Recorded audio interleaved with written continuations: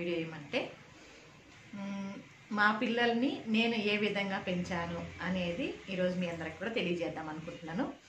కానీ మీరు ఈ రకంగా పెంచండి అని కాదు ఎందుకంటే నేను ఏ విధంగా పెంచానని మాత్రమే చెప్తున్నాను. అది కూడా ఎందుకు చెప్పాల్సి వచ్చిందంటే చాలా వరకు ఇప్పుడు మన వృద్ధులు ఆశ్రమంలో ఉన్నారు కదా వాళ్ళందరూ కూడా పిల్లలు తరిమేస్తారు ఈ రకంగా కూడా ఉంటుంది కదా. ఎప్పుడు కూడా మనము పిల్లలదే తప్పు అనుకుంటే కూడా ఒకసారి కరెక్ట్ కాదేమో అని అనిపిస్తుంది. అట్లానని వృద్ధులు కొంచెం అంటే వయసు అయిపోయిన తర్వాత వాళ్ళు పసిపిల్లలతో సమానము. వాళ్ళు పసిపిల్లలాగా రకరకాలుగా చేస్తారు.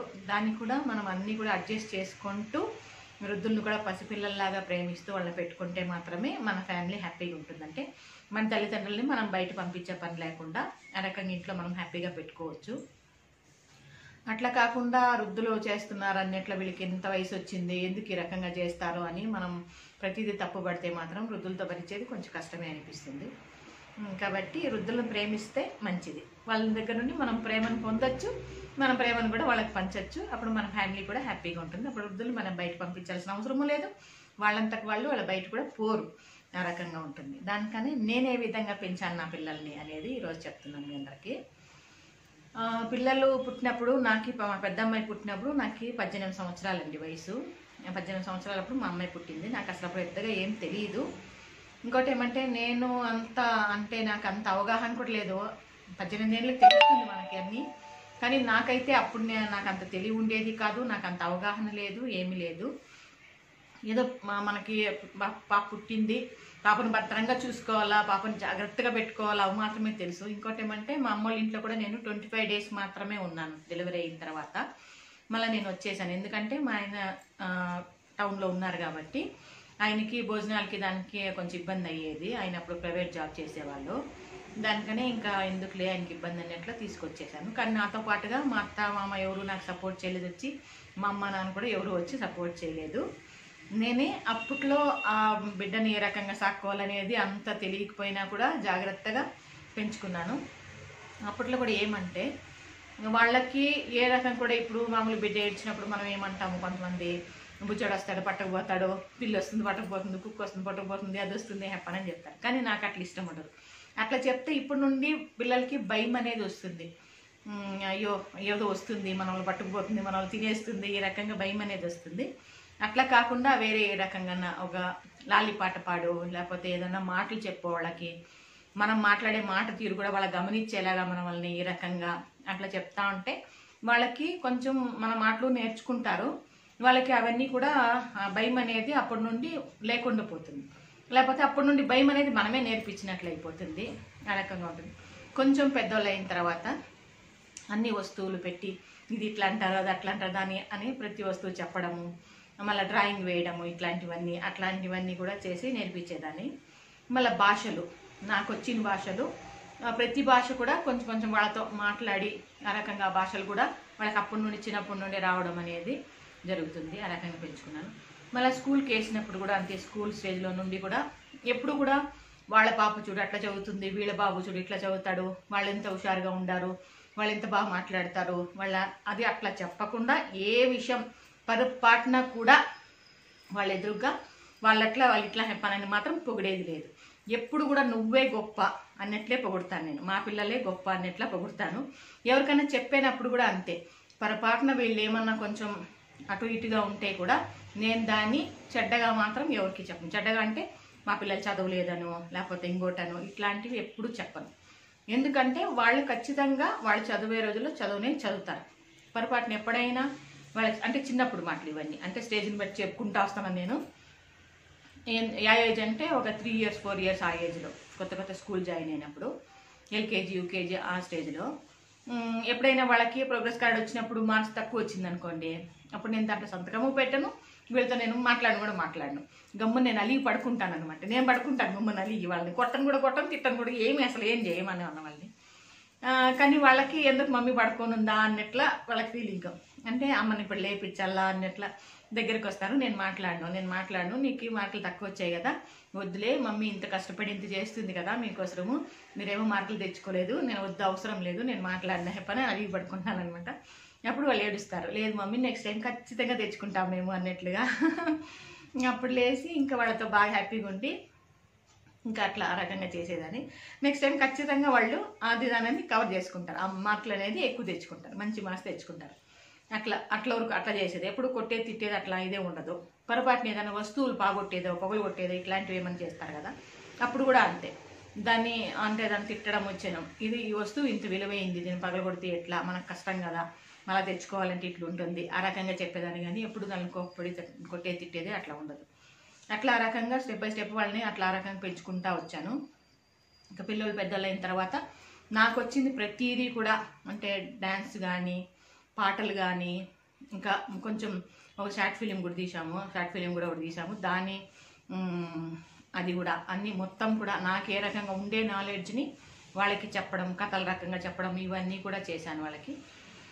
మంచి టాలెంట్ పిల్లలు ఇద్దరికి ప్రతి దాంట్లో కూడా మంచి టాపర్స్ మంచి సింగర్స్ మంచి డాన్సర్స్ మంచి యాక్టర్స్ అన్ని ప్రతి దాంట్లో కూడా మంచి గుణం ఉండే పిల్లలు వాళ్ళిద్దరు.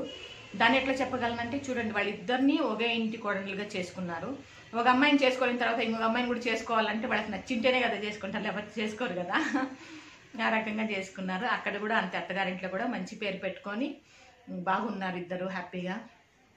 ఆ రకంగా పెంచానండి వాళ్ళని. ఇంకోటి ఏమంటే ఎప్పుడు కూడా నేను కూర్చొని వాళ్ళ ఏదో మా వారు తెచ్చి ఇచ్చిన డబ్బులతో నేను వాళ్ళని సాకలేదు. నేను కష్టపడి డబ్బు సంపాదించి తన జీతం మా ఆయన జీతం ఎంత వస్తుందో దాని కింద వన్ రూపీ ఎక్కువే సంపాదించి ఎప్పుడు డే అండ్ నైట్ కష్టపడి సంపాదించాను. టైలరింగ్ అంటే ఎంత కష్టం ఉంటుందో మీలో చాలా మందికి తెలిసే ఉంటుంది. ఆ టైలరింగ్ చేసి వాళ్ళకి ఏం కావాలన్నా ఏ లోటు లేకుండా ప్రతి దాంట్లో కూడా వాళ్ళు ఇది కావాలంటే మనకున్న దాంట్లో ఇంత చేయొచ్చు అన్నట్లుగా వాళ్ళకి చేసేదాన్ని. వాళ్ళకి మెయిన్ ఏమంటే మంచి ప్రేమ అమ్మ ప్రేమ ఎలా ఉంటుంది అనే విషయాన్ని వాళ్ళకి పంచాను నేను. కాబట్టి ఈరోజు మా పిల్లలు నన్ను అంత ప్రేమగా చూస్తారు. నేను పడిన కష్టము బాధ వాళ్ళని చూసుకునే విధానము అవన్నీ కూడా వాళ్ళకి గుర్తున్నాయి కాబట్టి ఈరోజు నన్ను చాలా హ్యాపీగా చూసుకుంటారు వాళ్ళు. అంటే చెప్తుంటే నాకే కళ్ళలో నీళ్ళు వచ్చేస్తుంది. ఎందుకంటే ఒకప్పుడు చాలా బాధలు ఉండేది ఫ్రెండ్స్ నాకు డబ్బు సంపాదించేకి. డే అండ్ నైట్ కష్టపడ్డాను నేను. ఎందుకంటే అది పిల్లల కోసమని.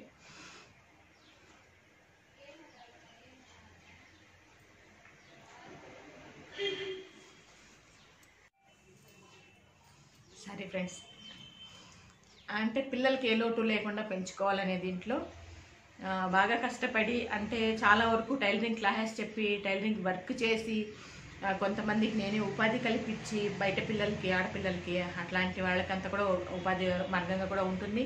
దాని ద్వారా మనకి డబ్బు వస్తుంది. వాళ్ళకి ఏదన్నా అవకాశాలు ఉంటాయి కదా అంటే ఇంట్లో ఎన్నో ఉంటాయి కదా వాళ్ళకి అవసరాలు అవన్నీ కూడా వాళ్ళకి తీరుతుంది అన్నట్లుగా ఆ రకంగా కూడా చేశాను. కాబట్టి ఈరోజు నా పిల్లలు బాగున్నారు. నేను హ్యాపీగా ఉన్నాను. అవన్నీ చేయడం వల్ల ఎప్పటికైనా కూడా వాళ్ళకి గుర్తుంటుంది. అంటే ఈ రకంగా చేశారు కదా మన పేరెంట్స్ వాళ్ళని ఎప్పటికీ బాగా చూసుకోవాలా అన్నట్లుగా ఉంటుంది. కానీ మనం చేశాం కదా వాళ్ళని ఇంత బాగా పెంచాం కదా వాళ్ళని మనం కన్నాం కదా అన్న అనుకొని దాన్ని మనము అవకాశంగా తీసుకొని వాళ్ళని ఏ రకంగా కూడా అది క్వశ్చన్ చేయకూడదు. నేను అంత బాగా చూసాను ఇంత బాగా చూశాను నేను అంత కష్టపడితే ఇంత కష్టపడితే మిమ్మల్ని అట్లా పెంచినాను ఇట్లా పెంచినాను అన్నట్లుగా ఎప్పుడు కూడా పొరపాటును కూడా వాళ్ళ ఎదురుగా మాట్లాడకూడదు. అప్పుడు అట్లా అన్నప్పుడు ఏమంటే వాళ్ళ నోట్లో పొరపాటున ఏం మాట వస్తుందంటే నిన్ను ఎవడు సాకమని చెప్పాను నిన్ను ఎవడు కనుమని చెప్పాను నిన్ను ఎవడు పెంచమని చెప్పా అనే మాట టక్కన వచ్చేస్తుంది. ఎందుకంటే మనం అది మన బాధ్యత. మన పిల్లల్ని మనం కావాలని మనం కనుక్కున్నాము. మన పిల్లల్ని మనము ప్రేమగా పం పెంచడం అనేది మన పిల్లలు అన్ని రకాలు వాళ్ళకి అందించడం అనేది మన బాధ్యత. మనం చేశాం. దాన్ని మనము మీకోసం మేము ఇంత చేశాము అనేది మాత్రం పొరపాటును కూడా వాళ్ళిద్దరుగా ఎదురుగా మనం ఆ మాట అనకూడదు కాబట్టి ఎప్పుడు నేను ఆ రకంగా అనలేదు వాళ్ళతో. నెక్స్ట్ కూడా ఇంకోటి ఏమంటే ఎప్పుడు కూడా ఎవరి మీద కూడా మనం ఆధారపడకుండా మన కష్టంతో మనం చేయగలిగితే కూడా అది కూడా మనిషికి చాలా వరకు విలువ ఉంటుంది. ఇప్పుడు మనం ఆశ్రమం విషయానికి వెళదాము. ఆశ్రమంలో ఏమంటే ఇప్పుడు ఆశ్రమం అనేది ఒక సర్వీస్ అనేది బయట ఎవరికైనా హెల్ప్ చేయడం అనేది ఇట్లాంటివన్నీ నాకు ఇష్టం. నాకు చాలా చాలా అట్లాంటి సర్వీస్ అంటే ఎంత ఇష్టం అంటూ మాటల్లో చెప్పలేను. అంత ఇష్టం నాకు. కానీ మా ఫ్యామిలీ వాళ్ళకి ఆశ్రమం అనేది ఇష్టమే కానీ నా అంత పిచ్చి అయితే కాదు వాళ్ళకి. అంటే దాని పిచ్చి అంటే మామూలుగా ఏమంటే ఒక ఒక తాగడు అలవాటు ఉంటుంది దాన్ని బానిస అవుతారు. ఇంకో చెడు అలవాట్లు దాన్ని బానిస అవుతారు. అట్లా నేను దీనికి బానిస అయిపోయినాను. ఈ సర్వీస్ చేసేదానికి అవ్వల తాతలు ప్రేమగా చూసుకునేదానికి దీనికి నేను బానిస ఆ రకంగా. దా వీళ్ళకి ఏమంటే నేను అవసరం. నాకు ఆ సర్వీస్ అనేది ఇష్టం. దాంతో పాటుగా వీళ్ళకి కూడా ప్రేమను పంచుతాను వీళ్ళతో ప్రేమగా ఉంటాను ఈ బాధ్యత ఏది వదులుకోను కరెక్ట్గా చేస్తూ ఉంటాను. కాబట్టి వీళ్ళకి మా వారికి కానీ మా ఇంట్లో ఫ్యామిలీ మెంబర్స్ కానీ అందరికి కానీ నేనంటే ఇష్టం కాబట్టి ఏదైతే నేను చేసే సర్వీస్ని వీళ్ళు ఖచ్చితంగా వద్దనలేరు. కాబట్టి వాళ్ళు కూడా నాకు వాళ్ళ వంతు సహాయంగా అంటే డబ్బు కాదండి నేను ఎవరిని డబ్బు హెల్ప్ అడుగుని ఇంట్లో వాళ్ళు కూడా నేను డబ్బు హెల్ప్ అడిగి అడిగేది లేదు. ఏ రకంగా మనకు అన్నదాతలు వాళ్ళంతకు వాళ్ళు వచ్చి చేస్తారో అదే రకంగా ఇంట్లో వాళ్ళు కూడా వాళ్ళకి ఇష్టమైతే వాళ్ళు చేయొచ్చు అంతేగాని పనుల్లో ఏ పని చిన్న పని అయినా పెద్ద పని అయినా వాళ్ళు హెల్ప్ చేస్తారు. ఆశ్రమం ఏమే వర్క్ ఉన్నా కూడా వీళ్ళందరూ కూడా కలిసి చేస్తారు. అట్లా రకంగా. ఎందుకంటే నాకు ఆ వర్క్ ఇష్టం వీళ్ళకి నేను ఇష్టం. కాబట్టి ఆ రకంగా చేస్తున్నారు.